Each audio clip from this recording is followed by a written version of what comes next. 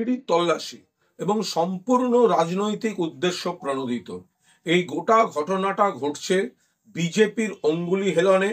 BJP তৈরি করে দেওয়া প্রতিহিংসা রাজনীতির স্ক্রিপ্টের উপর দাঁড়িয়ে।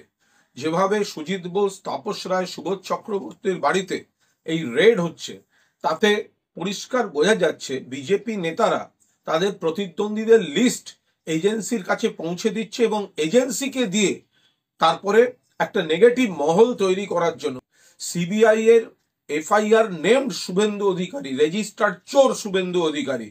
কেন তার বাড়িতে রেড হচ্ছে না? সারদার অভিযুক্ত, নারদার অভিযুক্ত।